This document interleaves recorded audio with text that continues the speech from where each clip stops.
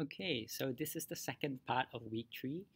In the last video recording, we've explored specific structures and social spaces, namely the rumah, the lumbung, the masjid, or the pura or gereja, uh, then these are the mosque, the temple or the church, as well as the pasar and the palace or the istana. And in each of these instances, we see a kind of agglutinative principle underlying its construction and design, allowing additions to be made as buildings are recognized inherently as animated form or a living form, serving that radiates from an axial point of the central column. So in this uh, uh, uh, the second part, we're going to explore the morphology of the urban environment and consider other types of functional zones and structures before telescoping outwards uh, to think about how they exist not only within a natural landscape but also in some sense a sacred one okay? And what we're trying to try to do is that to think that what is natural or physical is not always separate from what is cosmic or sacred and that's why we need to sort of like consider what are the relationships between these two spheres. So typically in Southeast Asia, a polity or a system of government is made up of uh, different levels of administration. Uh, in all places of the world, it's also similar, but in this part of the world, the smallest unit here is normally referred to as a kampong. And a kampong here can mean two things. The first is a type of countryside settlement, and typically this is a rural village that is most commonly imagined as, uh, you know, uh, uh, in our common imagination, the kampong is that rural village, right? But the second meaning of the word survives better uh, when we find it in the English word compound. So, in this sense, a kampong can also mean a kind of urban ward or a neighborhood that is located within an urban settlement or a town area. Typically, a cluster of villages make up what is called a mukim, and this is from an Arabic word meaning resident, and then a cluster of mukims make up a daerah, which is also an Arab, a word of Arabic origin. Now, these districts then uh, constitute what is called a negara or a nagari. Today, the word nagari tends to refer to the state in our usage, while the Negara continues to have the meaning of the word country. But actually, in the past, Negara and Negri really refers to the same thing. And really, the only difference is in how it was used. So when we use the word Negara, uh, uh, it often refers to the state or governmental aspect of a particular country, uh, typically in reference to the state polity. Interestingly enough, the originally Sanskrit meaning for Nagara uh, tends to refer to this uh, tends to mean city or the city state, uh, right? Uh, but on the other hand, the Nagri refers more to this idea of a land or a country. So in this sense, you wouldn't tell people I'm from Negara Kedah, uh, bearing in mind that Kedah was an independent sovereign sultanate back then, uh, to some degree. So you would instead say something like, I belong to Negri Kedah. I come from Negri Kedah. But you would call the sovereignty, the sovereign state of Kedah, a Negara. And that's how you sort of like distinguish the difference in, sort in, in their usage, uh, as opposed to how it's being used today. Okay, so now typically an ordinary house or rumah uh, sits on one end of the spectrum, and on the other end of the spectrum is the istana or the palace. Uh, and this forms the, our imagination of what the Malay world looks like. This is very much reinforced by a common colonial trope uh, that the kampong on the one side and the court or the palace on the other side constitute social spaces and institutions that represent what is authentic or pure in Malay culture. Hopefully, the last video that sh have shown you that uh, this is not the most interesting way to explore uh, our built around environment around us. Because if we were to do so, we would be forgetting what is really a very important type of settlement within the Malay world. This is a world made up of people coming from all over the world, as well as Malays participating uh, within a kind of cosmopolitan culture made up of seafarers and traders of all kinds, and that is the Bandar. If the Malay world is only the kampong or the court, where is this Bandar then? The term Bandar survives to, in today's usage to mean city, but historically it comes from the Persian word uh, for a port or, or seaport, right? So those of you who have been to Indonesia might also uh, become be aware that uh, airports there are called bandar, bandara, and it's a condensation uh, for the word bandar udara uh, or the airport. Therefore, if in the past uh, a city was synonymous with a bandar because it was the port that makes trading of goods possible, and therefore cities come into life and is activated uh, when there's uh, as uh, when you think of an area with a higher concentration of population density, uh, which is what city is, then it is synonymous with the port or the bandar because trade uh, makes that happen. So let's look at the contemporary reimagination uh, that we examined in the last lecture. Again, the top image is this fantastical rendering of the palace we have uh, hopefully examined and, and, and, deconstruct in the last uh, recording. Now we instead turn to the lower picture that shows a port. And in this instance, this representation also shows a very vibrant kind of Malacca that probably looks like uh, more like a late 19th century Singapore. And part of the reason why we continue to refer to, you know, 19th century representation is because they are much more available, and also the fact that we have very little idea of what cities were like before then. Uh, so some of the visual evidences did survive, and if we were to look at, say, the print of Palembang in eastern Sumatra, uh, I think we have to start learning how to sort of read them to make them more useful and productive and meaningful uh, to our contemporary eyes. You would find actually by closely studying uh, even Western representations like this that there's a very different morphology of, of the city that is being depicted. So notice how in the middle ground of the picture there's a section of the city uh, with a larger concentration of buildings surrounded by uh, what seems like a wall, a rampart, which is like a wall structure built around it for the purpose of defending a particular area.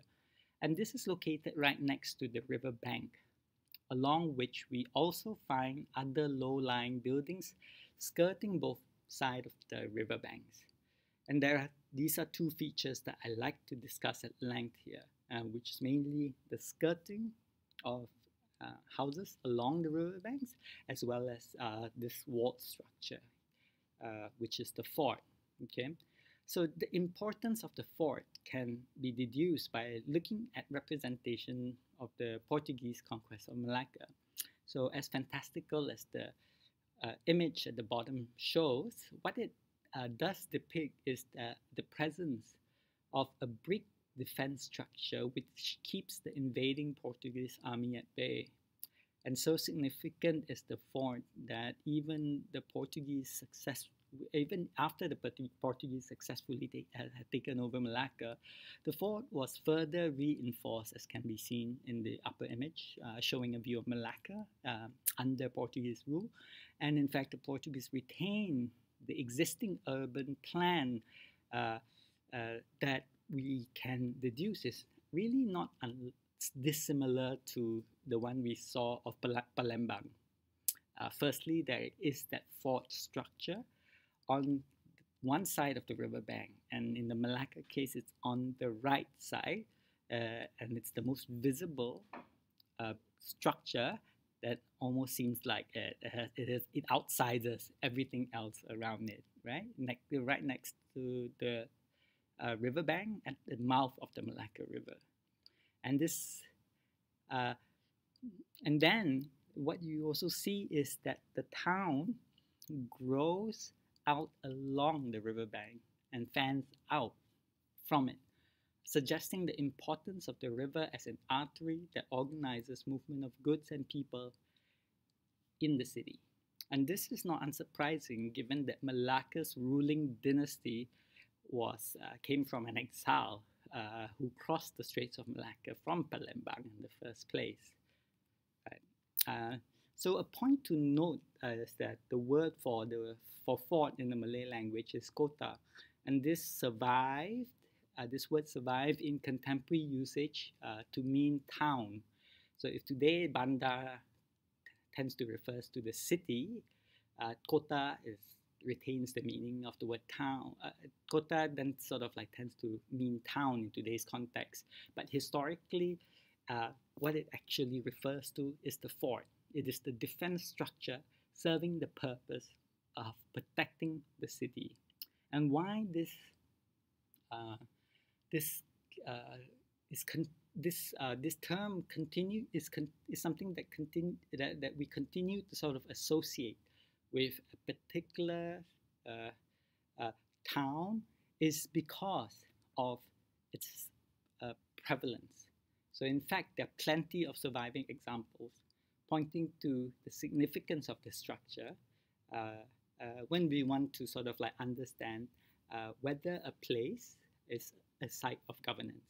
So typically in a place where there is a concentration of political activity, the fort is the structure that needs to uh, be there in order to sort of like defend the place from attack from outside, right? And more than the palace, it is the fort because it, it's a, it's a structure that serves a defensive purpose. Therefore, it's it tends to be it tend uh, uh, in the past uh, the materials used to construct fort tend to uh, be something that is more solid, and therefore it has survived the test of time, and uh, and, and it's the evidence of uh, a historical polity that we look out for when we when archaeological uh, excavations are conducted in a particular area. Uh, so then, as we think about houses that lines the banks of the river, uh, we're moving to a second sort of like point, and that is the houses that line the river. You will have to really think along this week's reading, uh, one of this week's reading, where archaeologist John Miksic classifies the pre-modern urban forms in Southeast Asia along two models, namely the heterogeneous uh, or the the uh, no the heterogenetic versus the orthogenetic uh, urban form. So, uh, in the orthogenetic sort of like urban form, it is the city that often uh, exhibits a radial character. Normally, uh, this means that organize it uh, it's a city that organizes itself around perhaps a monumental structure usually uh, this structure takes on religious or politic and political significance uh, and because of its importance these structures are, tend to be built with materials that last longer uh, normally stones and this uh, and so it's easier to sort of like identify uh, that a city like this exists at a particular point in time. At a particular point in time, of course, the most well-known example is the Angkor Wat, which we will revisit later in the course. But here I ask you to imagine as you look at the picture uh, uh, on the screen uh, of uh, you know Angkor Wat being patently a, a, a, a, a kind of uh, architectural configuration uh, that is symmetrically sort of like laid out. Now imagine instead of the trees that surround it, uh, what surrounds uh, this temple are kampong wards that extends beyond what our eyes can see. And that is when you begin to realize the scale of urban development that once uh, was uh, part of uh, that once surrounded the temple. Uh, so the orthogenetic city is one particular form of expression. Of course, later on, uh, I'm going to also trouble this reading by introducing recent findings that suggest perhaps uh, we need to think about Angkor Wat differently. But let's let's dwell on this particular uh, example as a way to at least understand Miksic's uh, argument of, uh, about these two modular forms of uh, urban of Southeast Asia. So the second uh, one, to contrast the orthogenetic city, Miksic suggests that there's another urban form that is perhaps less visible because it doesn't leave a lot of very visible archaeological remains.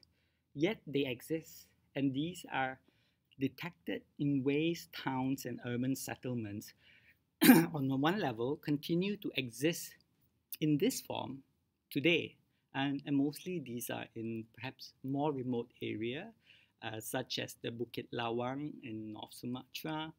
But uh, to find these urban forms back in time uh, we of course need archaeological proof uh, and and it wasn't until recently where underwater archaeology uh, is uh, is used as a method that uh, that it that we're beginning to sort of like understand that this was actually a part of our historical uh, that this particular urban form was very much part of uh, uh, the history of Southeast Asia. And with underwater archaeology, what happens is that you, you're dredging up a layer of earth from the river or seabed. And this helps us to discover an entire substratum of materials uh, that exists before. And you, by examining these materials, what we find is that they're not usually in the form of large sculptural relics. You know, it's not as if there's a sculpture, you know, buried down in the sea that's going to tell you that Atlantis once uh, existed in this part of the world. But they exist principally as trade tradewares, tiny little ceramics, shards, pottery shards, uh, coins, uh, things that were that uh, that might seem very small and as if they're like little bits of uh, uh, insignificant objects that have somehow survived time, survived you know the ravages of time, but collectively they help us to reconstruct a larger picture of trade activities uh, in this part of the world. Uh, especially in cultures where wood is the primary material used in its building construction. And because wood is perish- a perishable material that doesn't last as long as stone buildings, we cannot hope to find them existing, uh, uh, you know, surviving through time in the form that a stone building would uh, survive the test of time. Instead, we have to be creative and look elsewhere. And this, for me, I think it's a great lesson in methodology uh, where, uh, as researchers, we're really sort of pushed to creatively devise a new approach to obtain data. So, in order to help us to paint a picture of the past, which then actually challenges a lot of our assumptions about what cities are. Uh, as uh, we use Southeast Asia as an example to participate in a global conversation about the very nature of a city space, right? Now, having said that, if you bother reading Miksic at all, uh, all the way and carefully, that's not where he stops. You know, you would have come to understand that in fact, the orthogenetic and the heterogenetic cities are not mutually exclusive models of urban forms, and in fact, many cities were in some ways hybrid of these models. So the clearest expression of this, uh, one example is the Ayutthaya, and this is the old capital of Siam, where uh, from this image that you see on the screen, uh, it has a defense wall that surrounds the city, uh, but the same time, it's punctuated by access points, right? Uh, nevertheless, these access points are not roads that lead into the city. It's made up of crisscrossing canal system. So the picture we get makes the city looks more like uh, Venice today. In this view of Ayutthaya, we are also seeing how monumental religious architecture then becomes central focus of different neighborhoods uh, and serving the purpose of organizing uh, the various wards around it as well as the communities that reside in these wards. In this way, we cannot therefore take the European image or model of what a town is supposed to look like and apply it to Southeast Asia. And then discovering that none of the human settlements in this part of the world conforms to that particular model, conclude that cities did not exist in this part of the world, and therefore what only existed was the court and the kampong. Having mapped out some of the important urban sites that you see uh, up here on the screen, we might want to ask, how do they see themselves and their place in the world?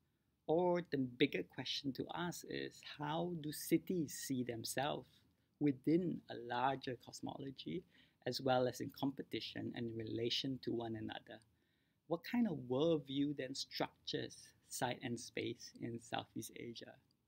So this is more speculative, but we might want to, in this instance, turn to O.W. Wolters uh, for some ideas. And uh, he is someone you have read in your last week or the first week.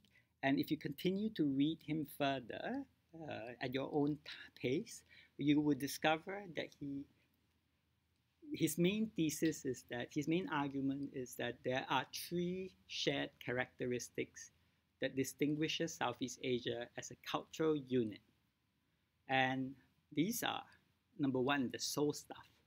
Uh, what he calls the soul stuff are basically the animating force of a cosmos that consists of realities beyond the one that we are able to sense with our five senses. Another way of describing it is that it is a concentration of spiritual power, and that this concentration of spiritual power, uh, uh, often in the Malay world, is called the angin, right? The will or the desire that stirs someone into action.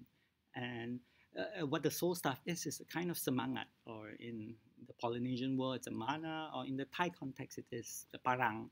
And a person who appears charismatic or influential, therefore, is described as possessing a high level of soul stuff, or the semangat. Uh, in turn, this person becomes a man of prowess, and that's the second point uh, for O.W. Wolters. As a man of prowess, or man who possesses great power, or concentration of power, he or normally it's a he, uh, but of course this is not gender specific.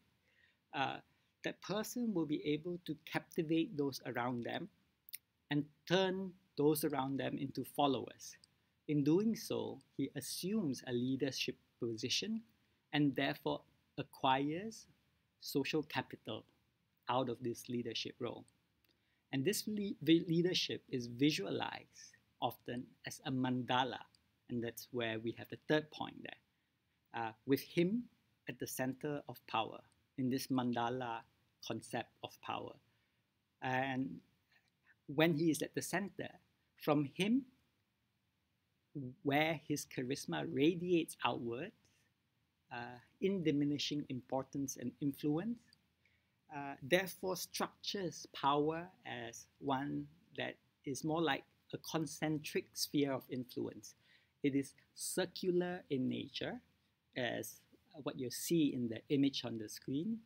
Uh, moreover, this mandala or his sphere of influence exists in a galactic system in competition with other mandala of fears of power.